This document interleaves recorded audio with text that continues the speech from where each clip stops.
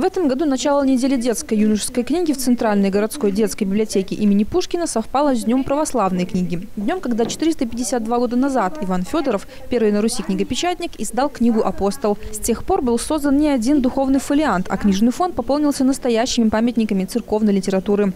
Сегодня редкие экземпляры можно найти в библиотеках, которые всегда были проводниками между читателем и книгой. Библиотека, как такое хранилище книг, оно всегда привлекало и привлекает, и будет привлекать к себе людей.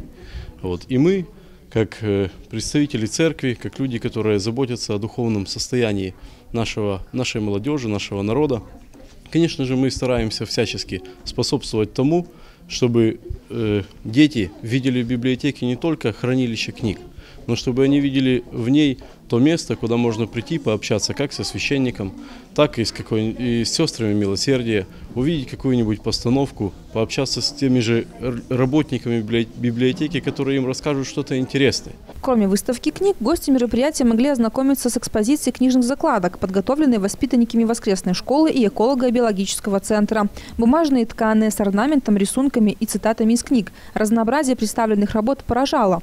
Некоторые из них повторяли стилистику духовных книг или отсылали к их содержанию. Это такая древняя традиция э, закладки э, делать, потому что книги раньше писались от руки, были очень дорогими, ценными, редкими, и чтобы сохранность их э, была ну, подольше сохранить, э, естественно, использовались закладки. Закладки были дорогими, но э, сейчас книги, хоть может они более в широком объеме представляются, но они также нам дороги, в первую очередь по содержанию. В этом году неделя детской и юношеской книги особенно богата на мероприятия. Встречи с писателями, презентации, экскурсии, экологические путешествия и другие события. Все они направлены на популяризацию детской книги и чтения среди молодежи. В среду у нас будет литературный вечер, посвященный любовной лирике Тютчева, Лермонтова и Пушкина.